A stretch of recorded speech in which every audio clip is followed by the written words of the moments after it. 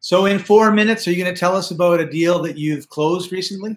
I, I, hope you and your editor can go in and, and, and like snag these little stories, right? This is why I'm asking you these things. so let's see here a uh, recent deal. Well, let me put on my thinking cap. Let's see here. What are the guys?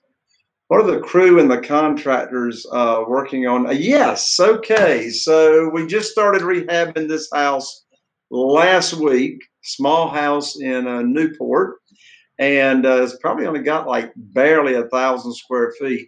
So uh, this was a how I found the deal was it was an ad, an actual paid ad on Facebook that I was running, and it's a picture. The ad is a picture of me with a yellow bandit sign in front of, of me, in front of my picture.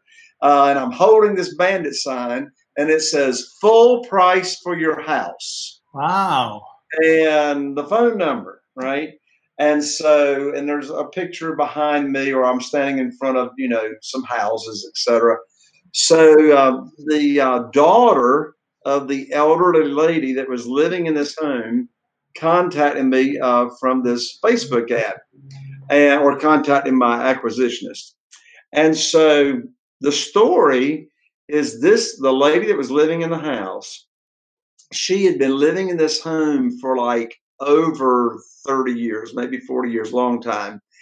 And uh, she got to the point that she just could not keep up the house anymore, and she was needing to go move into an assisted living uh, somewhere um, which, of course, uh, thank goodness when I bought the house, coronavirus had not shut everything down.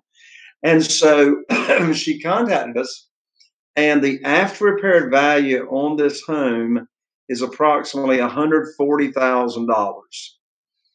I bought it for $52,000. Uh, but it is about a $30,000 rehab. So fifty thousand, fifty-two thousand dollar purchase, thirty thousand dollar rehab. We'll have between purchase and rehab eighty-two thousand, but still, yeah, uh, the uh, after repaired value is right, right at one hundred and forty thousand. The reason the rehab is so much is because we're actually moving walls around and opening up the kitchen and making it larger. But here is the interesting part of this story as to why I got the deal an actual competing real estate investor, and there aren't many of them around here in my small area, but an actual competing real estate investor offered five more thousand dollars than I did. So, how is it that I got the deal? Two ways. You see, as long as you can understand where the seller is coming from and what their motivation is, you'll get more of your offers accepted. You see, I knew this lady had nowhere to move. She was going to need to move, but she hadn't even uh, gotten any plans together on where to move. So here was my offer. I pay her all cash. So it was free and clear. So there was no way to buy it subject to the existing note. So we paid her all cash. I paid all cash with private money, closed on the deal, and my offer was I'll pay you $52,000, but you can go ahead and get all your money now and you can live in the home for free for two months after we close and give yourself plenty of time to find, you know, somewhere that you would want to move to. So that gave that gave her the cash flow, gave her the money, cash in her pocket, so she could, you know, move on with, uh, you know, uh, the the rest of her life um, and still stay there in our home for a couple of months. It was so, because of that offer we got the deal accepted. Yeah, so you're it's not always only about the money. That's right.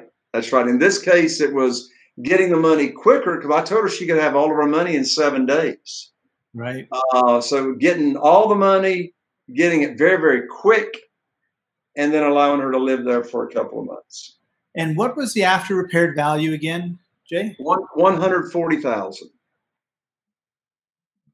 Cool. So fifty-two yeah, for the house, thirty thousand to fix it up, and you're going to sell it for one hundred and forty. Correct. So you're going to make your usual profit. Exactly on a small house. on a small house. And of course, we were we were able to buy it so uh, such at a discounted price as well because there was no mortgage. It was free and clear, you know, no mortgages on it. Right.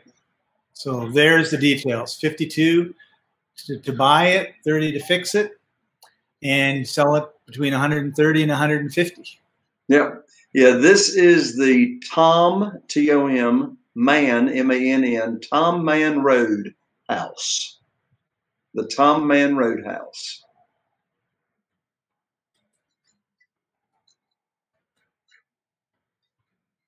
Let's make sure I got that right. Uh, two N's, sorry, M A N N, to be exact.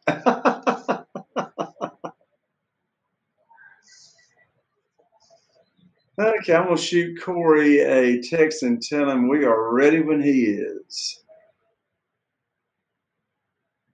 So, Jay, it would seem it would seem pretty obvious that housing prices are not going to be going up for the next little while. Well, actually, they are, according to a Wall Street Journal that I uh, article I read last week. And here's why. You got a lot of people that had their home in the multiple listing service for sale. And now a share of those people are fearful and don't want people in their house. So they take their house off the off the market. And now you have a, a smaller supply. And when you got smaller supply of houses, prices goes up. Wow. And